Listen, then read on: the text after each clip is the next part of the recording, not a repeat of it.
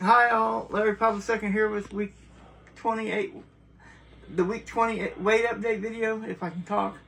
Anyway, at the end of week 19, I weighed 384.8. And so, and that was on October the 14th, on today's October 21st.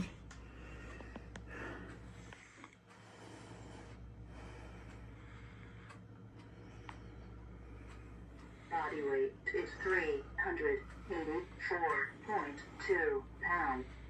Well, at least I lost. So I lost 0.6 pounds. That's better than nothing. Anyway, I'll finish recording this when I get back to my room. Bye-bye for now. Hi guys, I'm back. As you just saw, my weight at the end of week 20 was 384.2. And my weight last week at the end of week 19 was 384.8, which means I had a weight loss of 0.6 pounds. It's less than a pound, but at least it's still a weight loss. And that brings my total since I started this journey from 77.2 up to 77.8. So,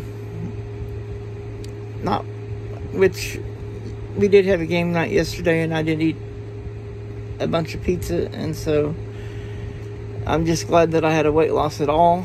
I was worried that I, because of the pizza yesterday, that I was going to gain. But thankfully, I didn't gain. And so, I just got to do better next week. Hopefully, start getting more, a, a larger weight loss for the next week.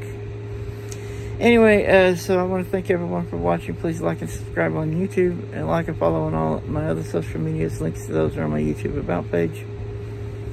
And I'll put my contact information in the description down below in case anybody wants to contact me or send me something. And as always, everyone have a wonderful day and be safe. Bye-bye.